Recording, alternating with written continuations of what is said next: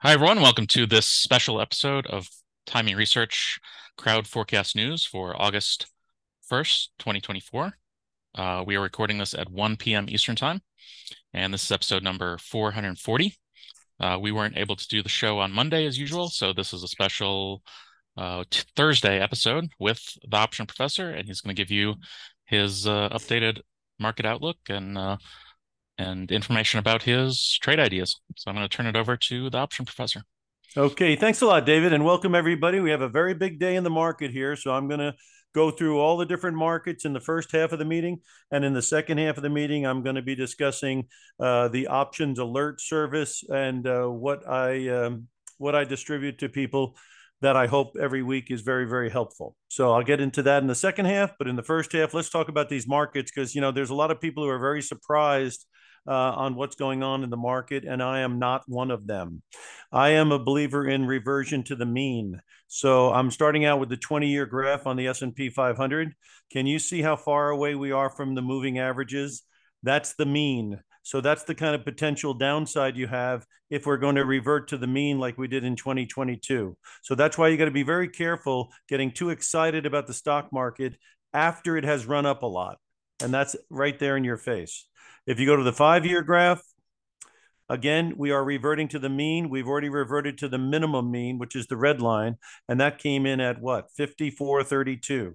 So we've already penetrated it actually when we went down to 53.90, but it is rising. And again, that is not bad. And again, on a longer term basis, the uh, the averages are rising, which means you're in a bull market. But a reversion of uh, significance is going to be painful for people who either a didn't take any profits up here, or b uh, just started investing up here. Uh, again, you can see it's already dropped pretty sharply down to here. Where could it go further? That's the big key, right? Well, I'll tell you where I think it could go further uh, on a really on a really you know Longer term pullback, it can go down towards the 200 day moving average, which is around 49.80. Okay. And that's where the red line comes in. If we have a more moderate one on the five year graph, the next stop would be 53. Uh, whoop, hold on here 52.87 or even as low as 51.25. On the one year graph, where could it drop? Well, it's right here with all these things. So I'm telling you, I'm I would imagine I would get ready for 53. Um, well, right here, where is it at? Yeah, 5264. So what did the other one say? 5264. And if you go over here, what do you got? You got the blue line coming in at 5287. So right in that 5250 area, plus or minus 30 points, I would be prepared for that because again, it's uh it's possible. And on the one year graph, again, your purple line down here. Now on the one month graph, we got very good evidence that it was going to have problems because it ran up to the purple lines here, right? And uh, tried to get above it. And then it filled the gap and so this break today under purple, which came in at what? 54.47? Uh, no, excuse me. Purple came in at 55.35. You can see once we broke 55.35, you lost 100 points, and now you're trying to hold on to gold. So again, let's see if this can hold up. If you're trying to be bullish, you certainly would like to see this hold up. And the low today is 54.47. And look at my gold line, 54.47. So you're right on something very important, and that's why it's trying to bounce. We'll have to see if it can actually do that. But again, there is a, a, a risk of a more complete pullback. Why? Okay, very simply. I just showed you the technicals reversion to the mean. And again, some of the charts are rolling over a bit. The one year uh, red line is pointing straight down. That's not good for stocks. Look when they go up. Can't you see the red line's always pointing up?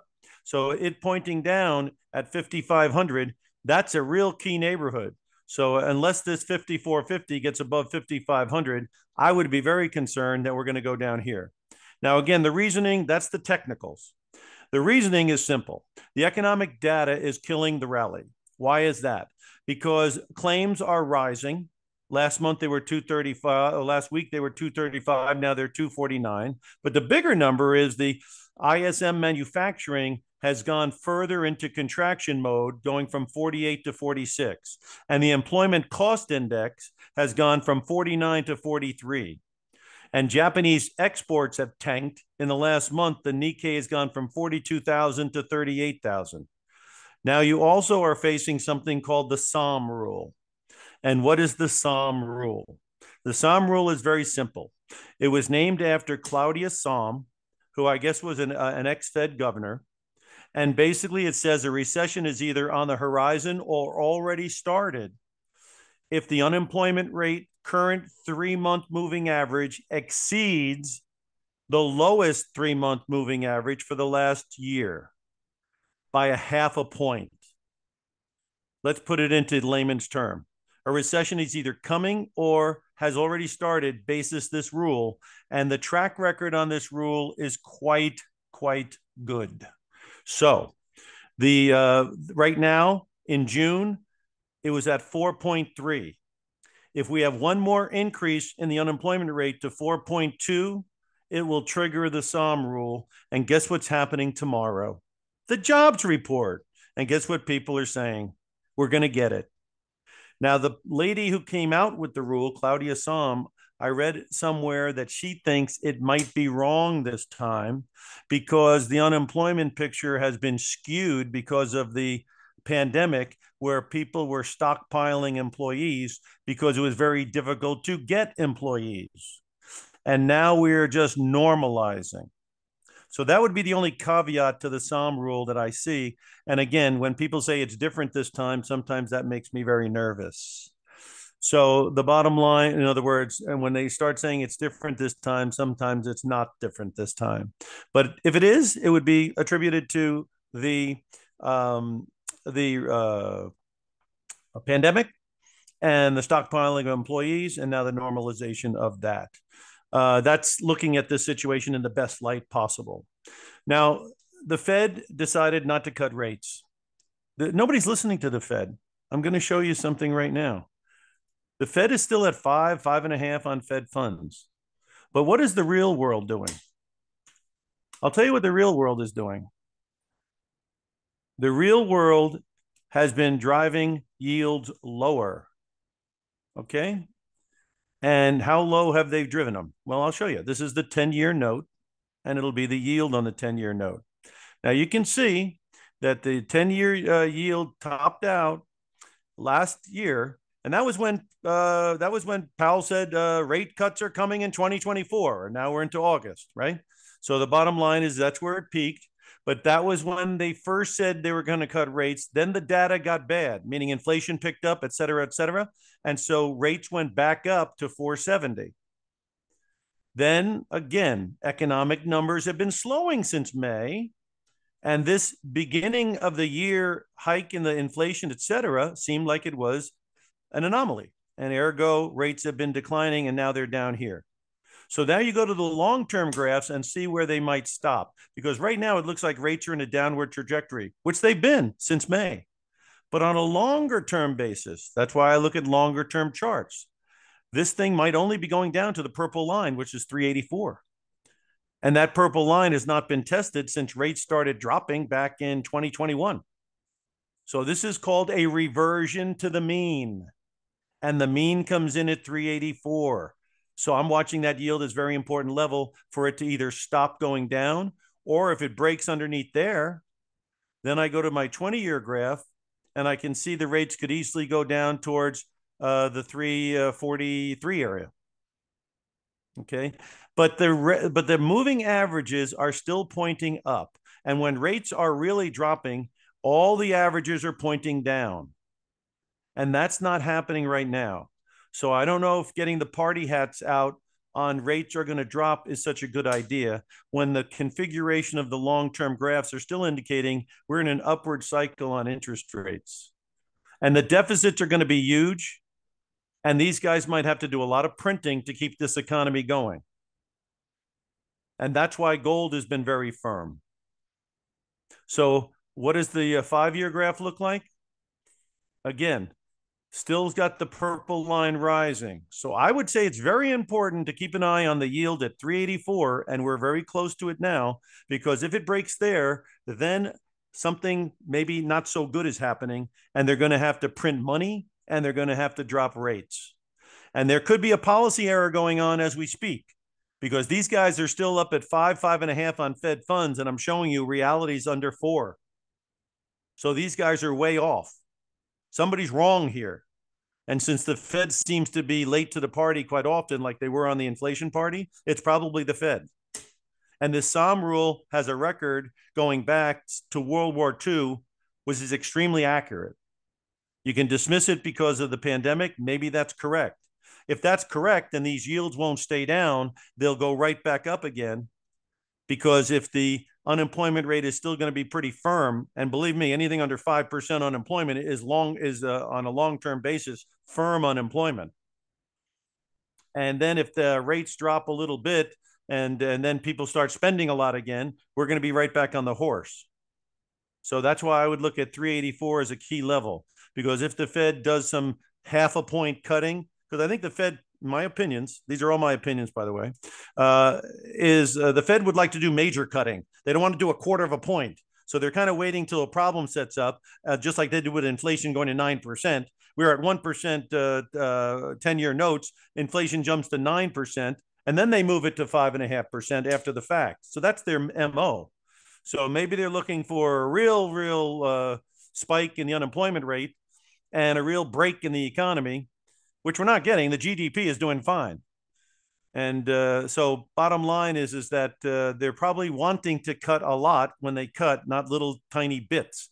And so that's why they're probably waiting because you know they'd rather use a, uh, machete than a uh, than a dinner knife.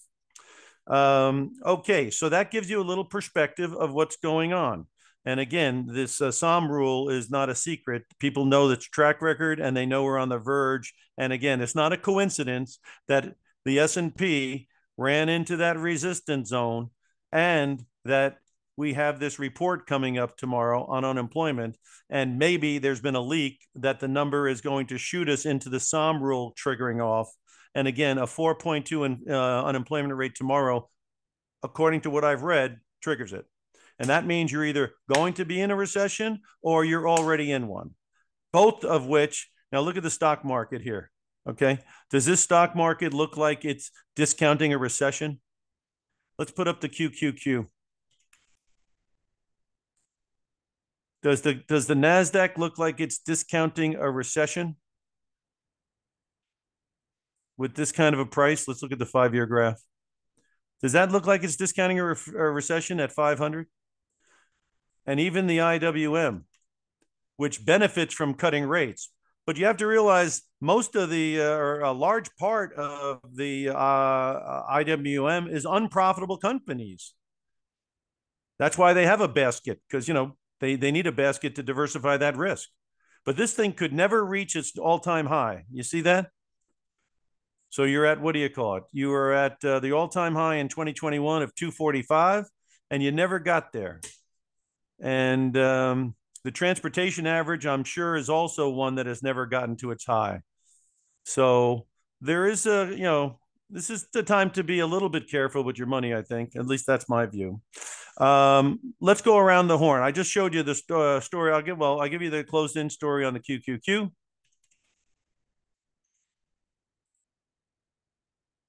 And again, there's an AI uh, phenomenon out there, but there's a lot of spending going on, and I don't know how much uh, profit it's being turned into in the short run. And so, if you discount this AI thing, it's going to be hugely positive for these companies. But then they report earnings and they don't show much action on the uh, return on investment side. You know, that's the recipe of the reversion to the mean, which is exactly what this thing is doing. It was at 500 and it came down to the green line, so it's reverting. It's not in a downtrend. Okay. And so if it can hold down here, you know, this is a neighborhood where I would look towards the uh to the support. So there you go, 440 to where we hit today. The low today 455. Look at my uh, look at my green line there. It's at 454. So again, this is an but up here I'm talking about was where I was speaking to people about replacement trades, where you dump the stock and take a limited risk call just to protect you in case if it goes up. Now all that money you sold out up here, you can buy back in on the dip. And that wasn't a bad idea. Or sell calls at 520 and then buy your puts at 480 and get some insurance going. You know, these are the tactics that you try to use when you're at a high point. And I believe we were at a high point because, again, this is a candidate for reversion to the mean. And you see what it just did? It reverted to the mean.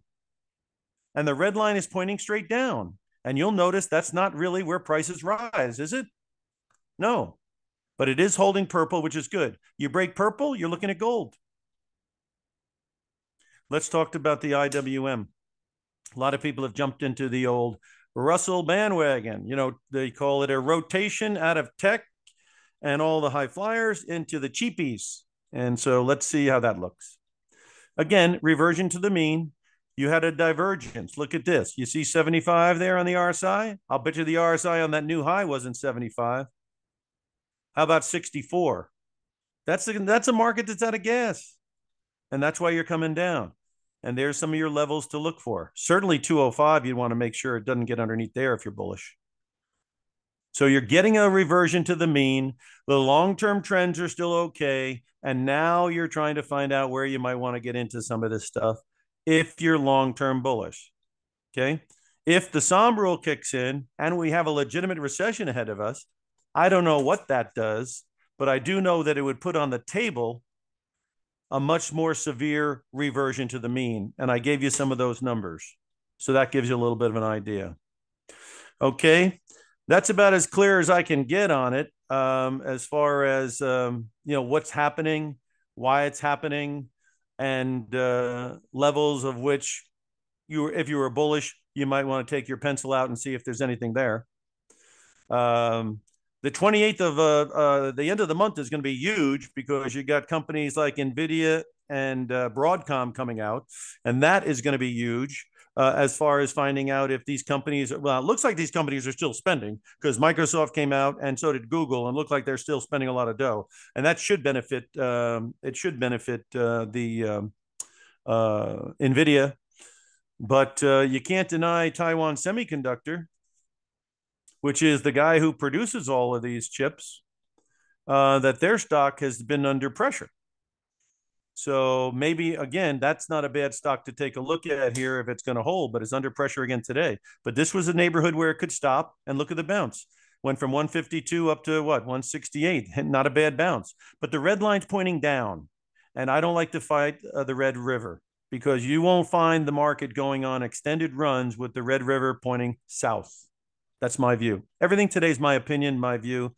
You know, if you go and ask 100 people, I'm sure they wouldn't agree with me on everything I'm saying.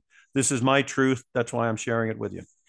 Okay, let's go around and find out what's going on in the world. We just went over the stocks. I think I was clear on that. Let's go to oil. Well, first, I'm going to go over the commodity index. This is the Goldman Sachs Commodity Index. Okay. And this is about half energy and about half gold and agriculture and metals. Okay. So I'm going to go back here and show you on the long term graph. Well, let's go to the five year graph. That's good. Well, here's the deal. You see the green line here? It tried to get through 600 and September of last year, couldn't do it. Tried to get through 600 again in April, couldn't do it. Right now, it's at 54, uh, 549. It's down into the support zone here. Okay. I mean, you know, 500 is going to be a very key number. Let me show you uh, here. You see this? Very key number here. Now, this is, and this is the area where it better stop. So, what's your number on that? Your number is 528. Okay. What's the low bin? It's in the 540s. So again, you can see it stopped here again, but it's having a heck of a time getting through 600 because the purple line is right there, and that is a barrier. My point is, I'm watching like a hawk the oil and the gold market because if they print, if they panic, then there's a possibility that we could see the commodities take off, which would mean your copper, your gold, and your silver, and your oil, and natural gas, and whatever.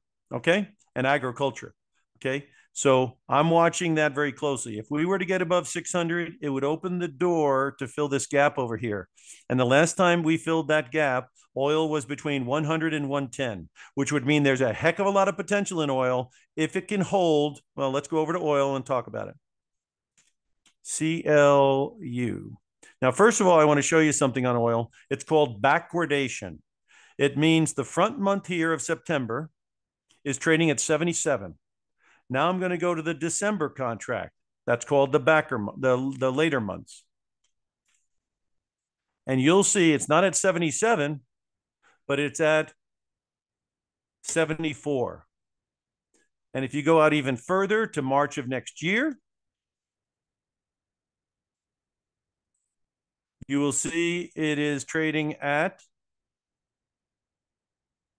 73. So when that phenomenon is going on, it's called backwardation, which means supplies are very tight. Not extremely tight, but they're definitely tight.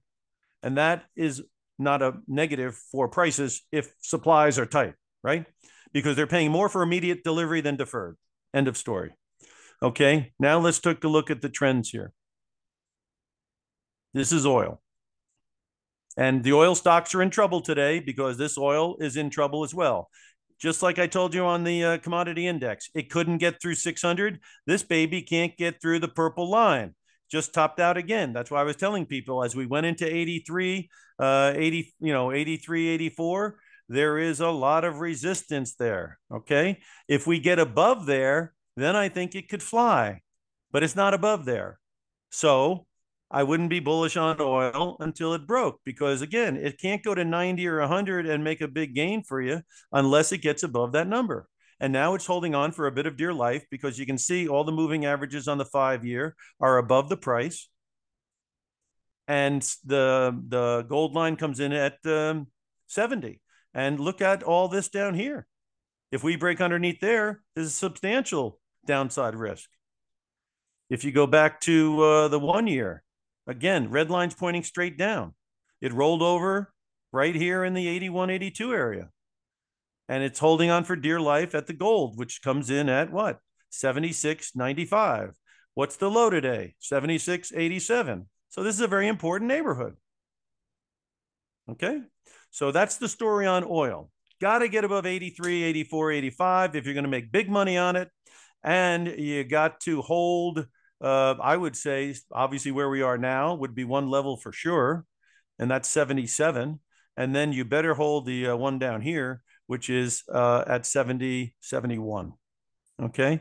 So it'll be very interesting. Obviously, if there's a full blown recession and things are going to slow down, that probably wouldn't be so bullish for oil generally uh, without a uh, geopolitical event. Okay, let's turn towards gold. Now, gold, uh, hold on a second here. Yeah. Gold in September is up $8.60. Now, again, here's what I see on gold. Basically, as long as it can hold 2,300, 2,500, I think you're okay. If you if it can't, it's going to put some of these longer term averages. So if this has a reversion to the mean, gold will go down to 21,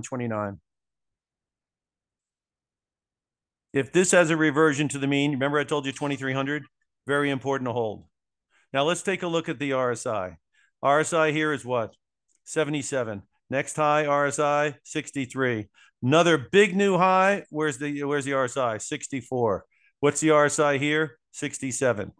When you're in the 60s, only in my view my opinion only one of two things generally happens you are on the verge of an acceleration phase where the rsi will go to 70 or 80 or you're at the top. And that's what i'm telling you right now on the gold. If the gold breaks up to new highs like 2500 here and keeps going then obviously that rsi will go from the 60s into the 70s and then it might even go into the 80s because there could be a huge panic into gold. Okay? But if it can't get above there, and I believe in what? Reversion to the mean, then I would be somewhat concerned up here and I'd be very careful of gold up here because it looks to me like it's going to be binary. Meaning what? It's either going to take out 2,500 and you'll be at 2,700, 3,000 maybe on a panic, or it's going to revert to the mean if they think uh, if they think everything will slow down. But the reason it's holding its bid, whereas oil, because you know again, if usage of oil goes way down, obviously that's going to be a problem. And uh, and uh, but with gold, they're concerned that with the deficit and a slower economy, the printing presses are going to come out in full force. And that's why it's up on a day like today, because again, those uh, economic numbers are not showing a boom. And we are very high on everything in our life. It cost a hundred grand to buy a car. It cost a million bucks to get a house. It cost 200 bucks to go out to dinner. Everything is very expensive. And if there were to be a recession, are you trying to tell me the price structure wouldn't collapse a little bit? That's why they're into the gold. And that's why, you know, everybody kind of thinks about having a portion of your money into gold as kind of an insurance kind of thing. Now, uh, a lot of people also look at the Bitcoin. Let's take a look at Bitcoin. Digital gold, sometimes they call it. I consider it more of an alternative currency type thing. I'm no expert on it, but this is the one that I follow. And this is what I told people to keep an eye on. Okay. Grayscale Bitcoin. Okay. Again, this is more, uh, again, uh, with a slowdown in the economy, they are obviously selling this thing off because I'm going to show you where I thought it was a good deal. And it was. But here on a long term, uh, you could pull back reversion again, reversion, reversion, reversion. It's you know this is what you know when it's up here, and I tell people at 60 it could revert down to the red line or the green. Obviously, they think I have three heads, but that's what happened. And then when it goes back up into that neighborhood and see if you go here at 80 and you go back in the neighborhood and you're 64, that tells you that rally is made out of paper mache. And then it's going to revert back down again, which is what it did. Now we're way up here and these things are down here. Again, this is where I thought it was a good deal. And that's why I said right here back on uh, July 8th that if you want to play it for a bounce, this is the place where it bounces and it went from 48 to 60. You had a pretty good deal there. You know, you could have got out there when it was up there, right? He goes, look, the RSI hardly went into like remember I told you if it can't get through the 60s, you're not going to get an acceleration phase or it's the top. So what's the RSI there? 61. You never got into the acceleration phase and look where you are now. Now where could it drop to here? There's a big gap down there. Now again, this is supposed to benefit from what? Printing money.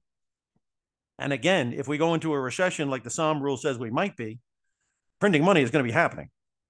And uh, this guy, obviously, uh, Powell and this Fed, they go to extremes. They keep rates at 1% until real estate goes to a million dollars a house. Then they bring it up to five and a half. Really didn't do anything to anything yet. And now, if things weaken, they're going to try to what? Keep this world where a million dollar house is norm, $200 dinners are norm, $150, $100,000 cars are the norm. Well, they're going to have to print a lot of money for that to occur. And they're going to have to lower interest rates dramatically. And what's that going to do to things like Bitcoin and gold? It could get scary on the upside. Okay, so we'll have to see. But right now, the reaction today from weak economic news is to sell it and bring it back to what? The reversion to the mean. If they bring it further, this thing's got a uh, timber look to it. You know, this thing obviously has a gold uh, thing here that comes in uh, much lower than we are now. And again, you know, uh, the red line is trying to start turning down here. You know, again, the red line goes down, it seems to go down. Red line goes down, it seems to go down. So you know, if you're bullish, you want you don't want the red line pointing down on anything, in my view. Okay, uh, so we went over the gold, we went over the Bitcoin. Silver is going to be the same story as gold, only more so, right? Um, and then, well, let's just take a look at it. We got a second here. SIU. This thing is a thinner market than gold, so it can get much more volatile when it wants to. Uh, and again, it seems to be a little bit firmer because it already had its correction down here. So 2750, 28, that's your neighborhood where it has to hold. But again, the red line pointing straight down, that's not my friend if I'm bullish. Again, gold line comes in here and the RSI is underneath 50. That ain't good. And this is more of an industrial metal. So obviously going into a recession would not be helpful for industrial metals, right? I'll show you a, stock uh, that would not benefit from that. Free, Freeport McMoRan. Obviously, this copper. How much copper do you need during a recession? Probably not that much. That's why it's tanking. Red line's turning down here on the five year. It already gave you, so it gave you a sell at 50, gave you another sell up here at 52, gave you another sell at 50 here, and now it's holding on for dear life. So you want to monitor this neighborhood to see if it's going to hold. But the red line pointing straight down is nobody's friend if you're bullish. And how far, if the breaks the gold, could it go? I mean, if we go into a full blown recession, well, you got purple under 40, and then you got the gold way down here. So that's an industrial metal, gives you a little bit of an idea. Um, okay, so uh, now I wanted to go over the US dollar just real quick. And the US dollar uh, has been pretty firm. Uh, but we'll have to see how long that lasts because uh, it is, see, when all my moving averages come together, something big is going to happen in my view. Okay. So right there on the five year, look where all the averages are. Didn't it say 104 like five times? Well, give me a tip. 104 is going to be a very key area because it's either going to make a decision that it's going to break under 104 and open up the door for a nice big drop or it's going to surprise everybody for whatever reason because maybe the whole world looks like garbage. And what are you going to put your money in? The yen? You're going to put it in the yuan? You're going to put it in the euro? I doubt it. So if uh, things get hairy, the dollar could maybe even go up simply because why? It's the one-eyed man in the valley of the blind.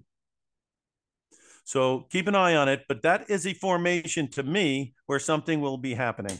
Like when it came together here at 104 and it jumped up to 107, where it came, they all came here at 102 and then they jumped to 108. So when they all converge, it's generally a prelude to something large happening. So be prepared for a significant move in the dollar, I think. Now, let me show you uh, the other currencies because the Japanese yen, I can't even believe they have a currency. Look at this. I think you'll be a little shocked right now when I show you this. This is the Japanese yen's currency. Now they went to an all-time high on their uh, on their stock market. In fact, they went back to a 1990 price that somebody thought never would happen again, uh, like 38,000. They went all the way up to uh, like 42,000. But look at their currency. Since 2012, which is like 10 years ago, right? It has gone from way up here to way down here. That's called 50% of your currency out the window. Okay. So they have been buying their own uh, securities to keep rates low. I think they just hiked them a little bit here, which has killed their stock market. The stock market went from 42,000 on the Nikkei all the way down to 38,000. Um, and uh, again, there is probably a huge divergence here, which would tell you that this could be the bottom of the yen. There's your RSI at 15, and then you made big new lows, and the RSI is 41. I would be somewhat constructive on the yen down here because that kind of divergence is a big divergence. And that would indicate the selling is dried up. And of course, ever since it hit the low here of 62, it's now trading up at 66. So obviously it has turned a bit. That's a downtrend by any measure, but doesn't it reek of reversion to the mean? So again, that's something to keep an eye on. That obviously would be uh, saying the dollar might drop. Uh, let's look at the euro. Now, again, you know, Japan, you know, their demographics isn't great. A lot of old people over there. Uh, Europe's demographics and uh, Europe's uh, situation, you know, not that robust. They got what do they got in the euro? 17 countries. I don't even know how many. All have different fiscal policies. Just imagine it. It's like a company saying, "Here's I'm a company stock, and we've got 17 subsidiaries that are running their own deals." So really, you got a very big risk with the euro because of so many countries are in on it. So the thing is, is uh, what does it look like here? Let's see.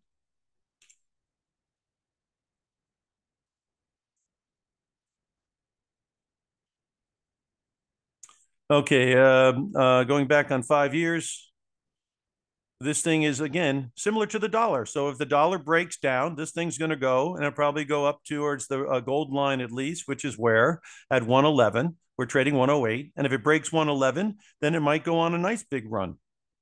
Conversely, they're all joined in here, just like the dollar. So imagine you, you can imagine this would be obviously something to entertain buying a strangle, where you buy a call and a put, and you're looking for all heck to break loose before expiration. And I think that wouldn't be a bad thing to price out. Limited risk on both sides and anticipating some significant volatility doesn't look like a terrible idea. And again, all the things are converging there. More than likely, we should get some activity coming out of there. So that's your story on the currencies right now.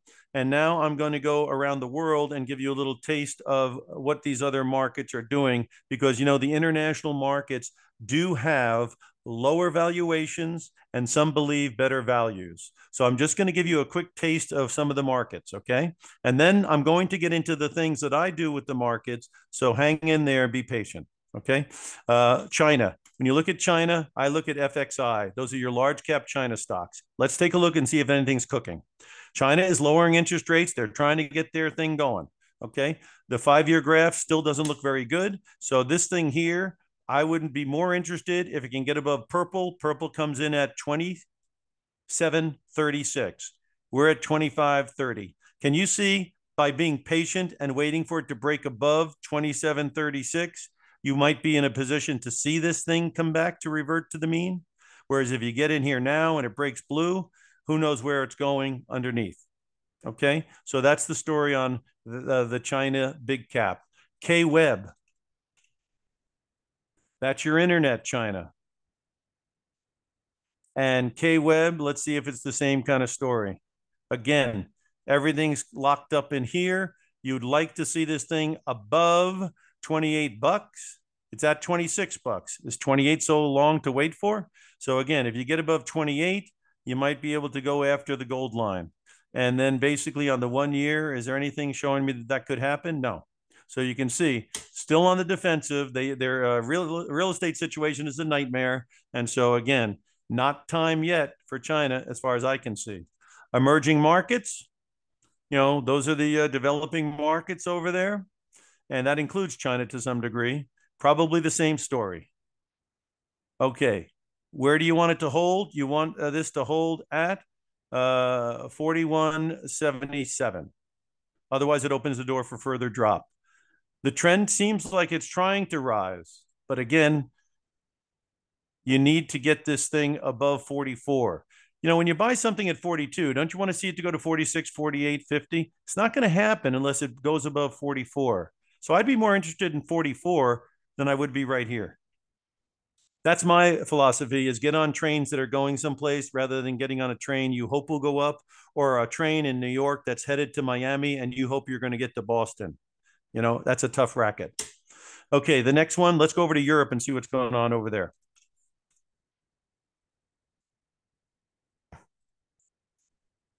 because these would you know if they drop rates dramatically here and they can get this thing going uh, they already started to drop rates in europe and so Europe is looking in a lot better shape than a lot of them, right?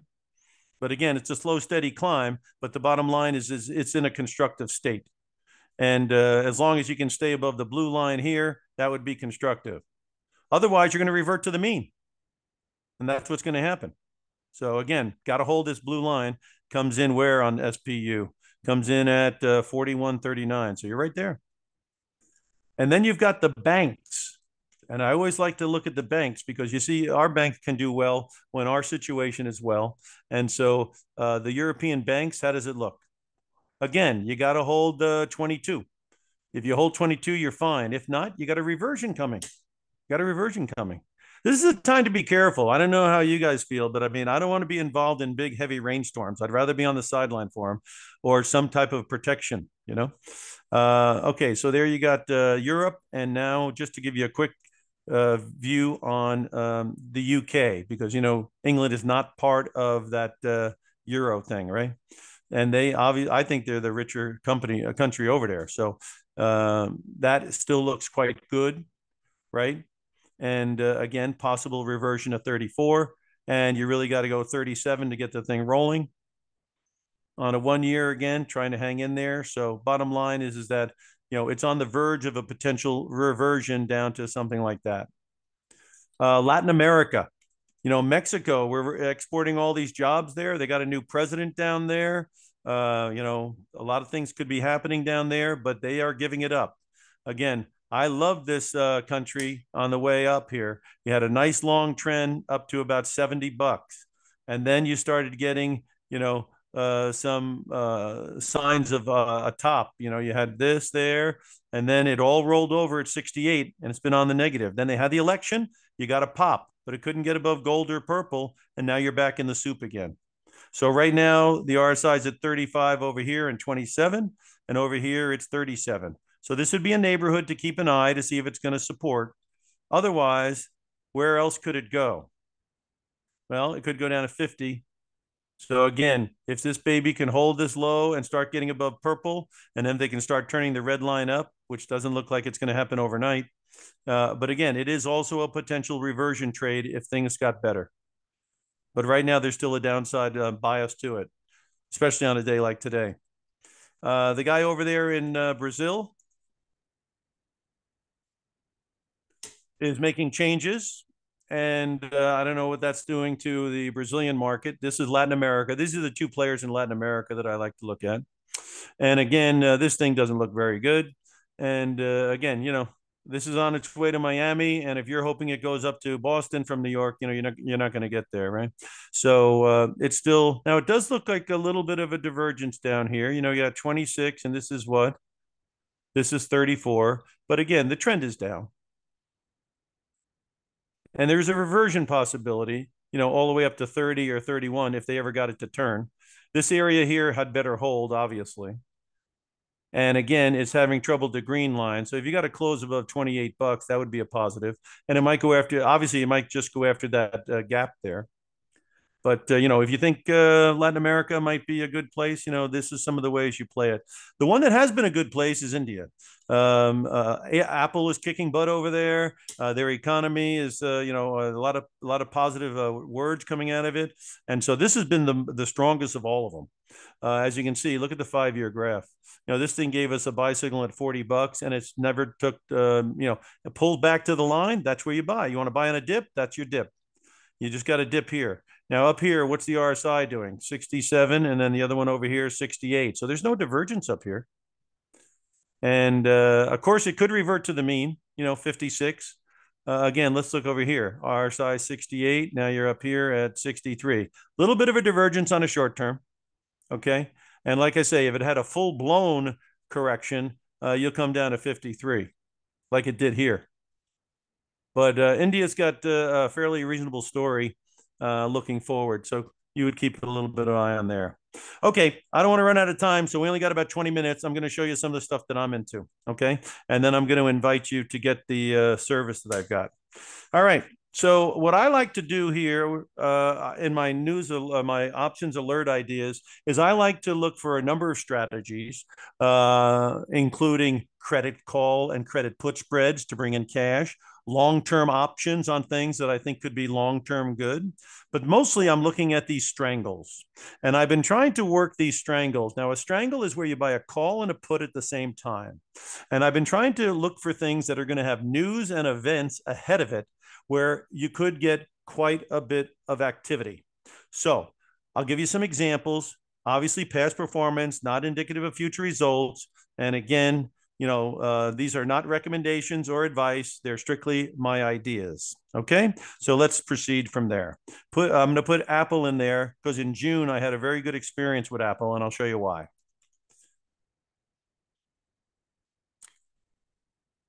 And once you do the strangle, you'll have limited risk. And then once the strangle moves, you have to make some decision on where you want to do to get out. So here's the deal uh, on Apple. If you go back to June, right, this market was trading between 185 and 195, and they had a worldwide developer conference going on. And so I thought it was a good idea to buy a two week option with a call at 200 and a put at 190 before the meeting, thinking A, I can see it's in an uptrend, so it could blow out to the upside. Or and also the RSI was right at 60. What did I tell you? If you go through 60 and get into the 70s, you're going to accelerate to the upside. What's the RSI here? 75. What's the RSI here? 78. That's called acceleration. I thought it was on the verge of that possibly, so I made a bet. 200 on the call cost $1.86. 190 puts were $1.50. So for about 325 plus or minus, maximum risk. I have the right to buy at 200 and the right to sell at 190. Yes, it did come out with a good news with the AI going into the cell phones, et cetera. And we popped within a couple of days up to 200. The $200 call is in the money by $20. That means the $186 jumped to 2000. Okay. That doesn't happen all the time, but this is why we play the game. Okay. Now, obviously, you know, when things go up, you know, you got to make a decision to sell at some point. So you could have sold it here or here or whatever. But the main thing is the initial idea was of value. All right. Then we've had earnings season coming up, right? So I'm going to show you some of the stuff that had uh, July expirations that are gone now. Bank of America.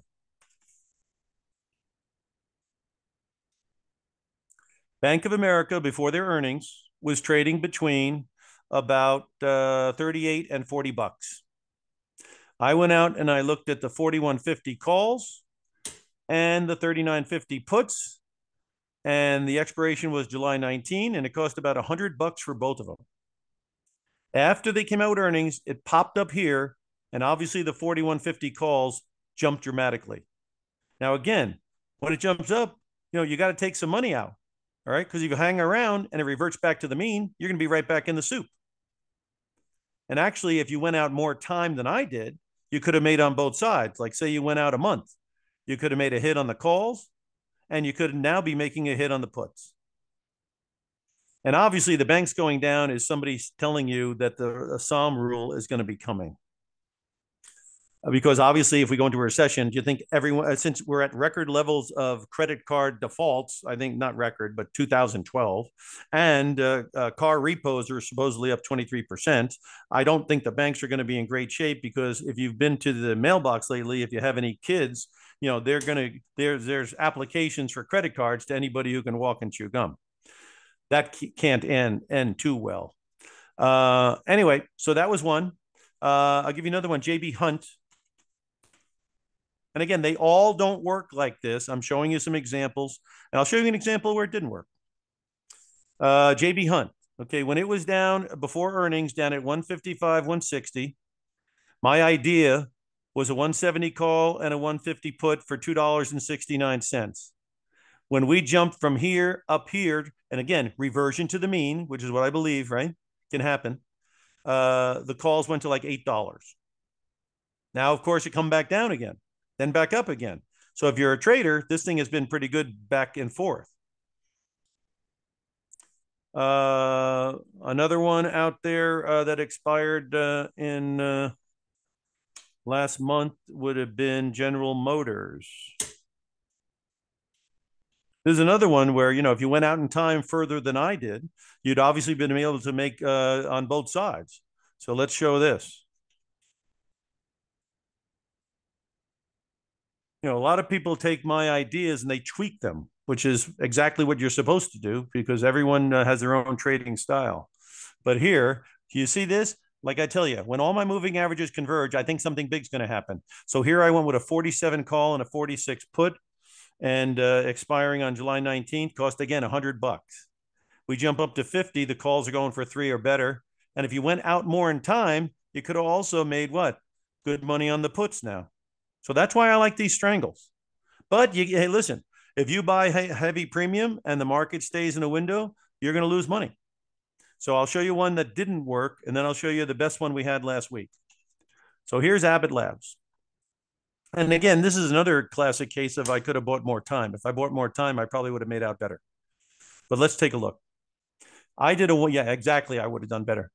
Uh, the mark was 104. I bought a 107 call and a 100 and a 101 put.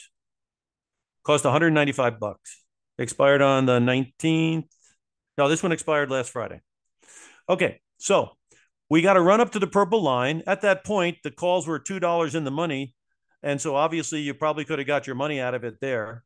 And against the purple line, you might have said, "This is a not work. This is not where I want to be. Let's take the money and run." And then when it went down here, you might have got some action on the uh, some. Well, this happened after. This happened afterwards. But here you got a little bit of action. But again, if you went out more in time, your 107 calls are now $2, $3 in the money, and it looks like something's going on here. And look at that RSI. So there's something that looks like it might be breaking out, and there's a gap up there. So if you're a trader, you're kind of looking for that 116, 118 to go get filled. And with the momentum right now at 64, what did I tell you? If you're going to go to 70 or 80 now, then we're going to go fill that gap. So I just gave you an idea to keep an eye on right there. The only way this will this only way this won't work is if this is a false breakout, which is possible, except for the fact that the RSI here is making new highs, and that's that's not a bad thing. Okay, but that's one that didn't work. You know, it didn't. They don't double and triple every single time. That's why we diversify the ideas. Now, here was the home run derby for last week. Taiwan Semi. I'll show you exactly where I come up with the idea.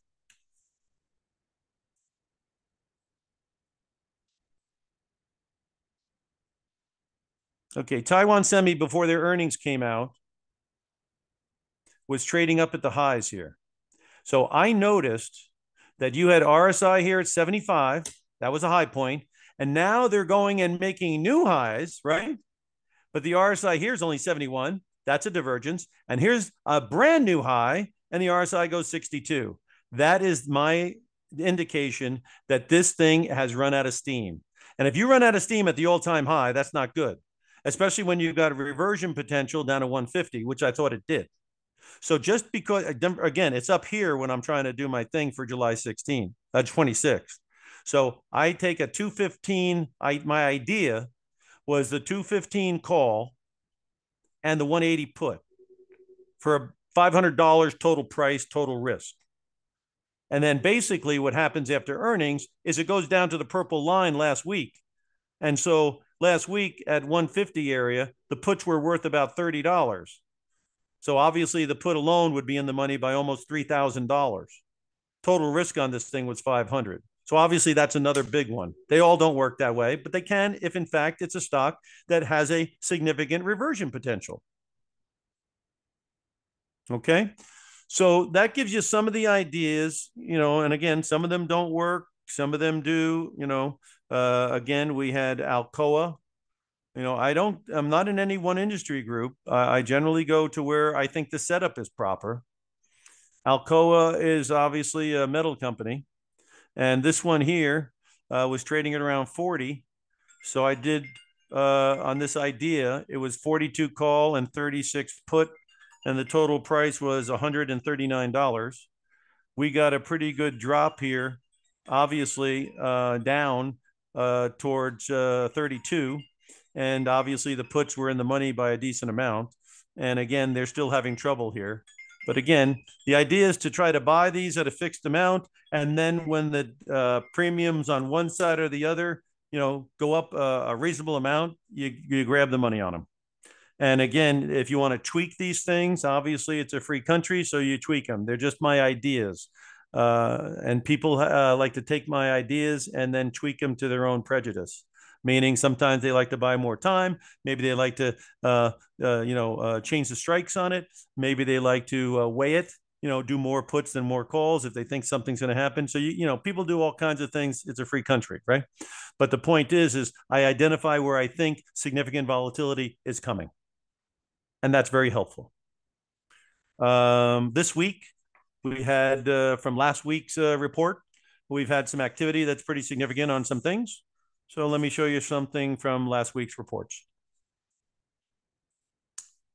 Okay, so uh, we had JetBlue as an idea.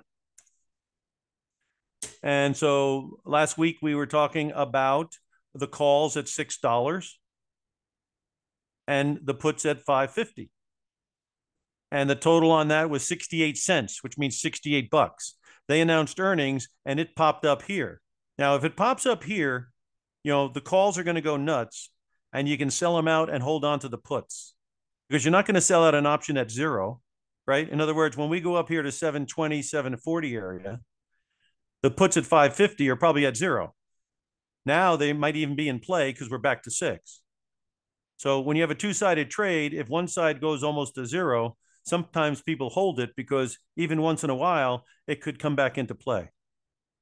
But that was obviously a good one. I was looking for big volatility and I got it. Another one was Starbucks.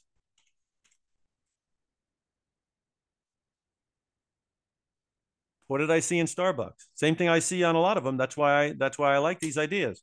Starbucks is trading between 74 and 76 going into their earnings. 78 call and 67 puts.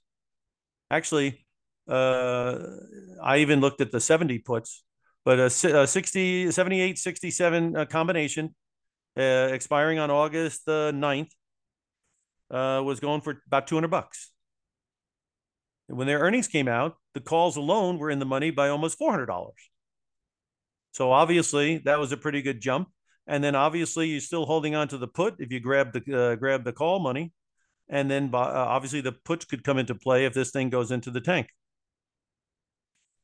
But that I was looking for volatilities to get a spike to try to make some money, and it happened. Um, another one uh, was Apple, and that's still open because Apple announces today. So on Apple, uh, we were looking at a 227 call and a 207 put for $4 expiring on next Friday. So uh, that was when Apple was right here on the blue line. It was around 217. Obviously, we jumped all the way up the other day to uh, 225. Obviously, uh, the option on the call side obviously must have gone up significantly. So if it runs into this stuff and you want to grab the gain, you could hold on to the put. And now the uh, stock is back here. Or you can hold them all the way to next Friday. And maybe this thing's going to go up and fill the gap, which is what I thought it might do. And that's up at 235 area, which would make the 227 call quite more valuable than four. Um, and uh, AMD was another one that got a spike and then it fell. Put up that. So, you know, once you get the volatility and you have you know, uh, the expansion of the premium, obviously you have to act. But on this deal here, I went with, uh, let's see, we had a 155 call and a 120 put for a little over $3. And it expires next Friday. Obviously, I did this when it was down around 140. So the 155 puts got a lot of action the other day when we went all the way up to 153. And so obviously the call jumped dramatically. And obviously you could have taken some money out of there. And now you still own the put. And for all I know, it's going back towards 120 because it's down $11 today. And it's underneath everything, and the red line's pointing down. So that's an example where volatility can happen on both sides. But again, the ideas that the ideas that I produce is the entry where I think these options are fairly priced the stock is at a point where volatility could be happening. It might be happening because of earnings. So I am focused on earnings because earnings have an ability to move. Now you've got the recession fears. That's a double thing that makes it move. So I'm trying to find things that have not moved yet. And this weekend, I'll be going for next week's earnings to try to find out those stocks that have the same kind of setup where, you know, it looks like the premiums are nice. It looks like uh, the volatility could be happening and it looks like it's worth a shot. And that's what I do. All right, we're at the top of the hour. Um, there is a way for you to get involved in this, and here's how it is. Uh, I can send you a link and further information on the service. You get weekly. Here's what you get. You get as soon as you uh, register, you get a options masterclass. That is a three session, six hour educational course on options done by myself and Daniel Sinig of tradingindicators.com. And you get it absolutely free. As a standalone product, it's $397. So you're getting that absolutely free. A lot of you people could learn more about options. I can learn more about options or be reminded of the fundamentals. That's what this thing can do. Second thing is is you get the weekly update where I give different ideas that I think look attractive particularly in the area of strangles. Okay, so you get the course for free. You get the um, you get the uh, updates uh, on the strangles that I think look attractive, my ideas, and then you can do with them what you want. And then basically, uh, you get a market commentary like I just gave you in the first half, where I go over all the markets and try to identify things that are going on. That comes with it as well. So you get an awful lot for your money. And all it is is 97 bucks month to month. So obviously, if you sign up and it's not your cup of tea, you hit the unsubscribe button and then you're out. If it's your cup of tea, you like it, you feel like it's a value, you continue. You always get to keep the course. So basically, on a bare bones minimum, you're signing up and you're paying 97 bucks and you're going to get a course that obviously standalone is almost four times that. So that's a good deal. And also, you're going to get four weeks of information that you're going to be able to evaluate. So that's a good deal. Um, I was supposed to have some kind of a link to show you, but I don't see it. So all I have to tell you is this I have an email address option O P T I O N professor P R O F E S S O R at gmail.com. Option singular professor at gmail.com. All you got to do is shoot me over your phone number and I and your email, obviously, because you're going to be emailing me, uh, and I can send you by email uh, what you are uh, looking at. Uh, I guess you can see, uh, yeah, right there you have the link, I believe, uh, to the alerts right there. So if you click on that link, right, all you've got to do is click on that link and put in your information. And again, you'll notice you're getting a discount of $100, which I'm extending to people who come to my meetings uh, uh, under um, uh, on the on the new subscribers. So you're getting a hundred dollar discount, bringing the price down to ninety seven bucks. You're going to get a uh, full um, uh, options master class video, which you keep, and it's three sessions, six hours of material. So I'm sure you can learn something on that. And then you get my updated ideas every single uh, weekend. Okay. And uh, I'm going to be pulling this offer of this 97 because you know it goes for 197 in other areas. So this special $100 discount is not ad infinitum. I'm encouraging encouraging you to get started. And again, put it in perspective. It's month to month, 97 bucks. You know, it costs more than 97 bucks to go out to dinner. So one day a month, don't go out to dinner and you covered it right? And you're walking away with a course that I know will be of value to you because I put it together with Daniel Sinig. I shared a lot of the information, obviously, that I have over decades of knowledge. And so I think that'll be very helpful to you. I try to set up something that I think is a very fair and good deal. And so I hope you take advantage of it because, again, I will be at some point pulling the special $100 discount. So this is the time. To, and also, we have earnings season, and I'm working with strangles that are based on what? In need of volatility. When will volatility possibly be pretty decent? I'm going to take my guess and I'm going to say earnings season. So again, on Sunday, I'll be going over next week's earnings and see if there's any opportunities there where I think, in my judgment, the idea would be a call and a put on that might work. And generally, I'll be going two weeks out. So it'll be uh, expirations in uh, August 16, uh, which will take next week into consideration and the week following. All right. If you have any questions, also, you can use my email to contact me, but I am encouraging you to take advantage of it because, again, uh, you have a um, exit strategy if it's not for you, and that's the unsubscribe button. So it's really a $97, let's give Jim a try kind of deal. So that's basically what I'm asking you to do is give me a try for at least a month. Okay. All right. Thank you all for being here. I appreciate it. Again, if you have anything else for me, you have my email. Otherwise, good luck and good trading. And uh, I hope you do join up. And I can guarantee you one thing I'll do my best to come up with good information for you. Okay. Have a good day, guys. And we'll talk to you soon.